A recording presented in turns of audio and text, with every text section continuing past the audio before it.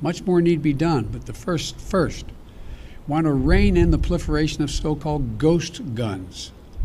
These are guns that are homemade, built from a kit that include directions on how to finish the firearm. You can go buy the kit. They have no serial numbers. So when they show up at a crime scene, they can't be traced.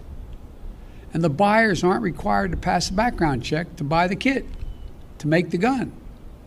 Consequently, anyone, anyone from a criminal to a terrorist can buy this kit as little as 30 minutes, put together a weapon.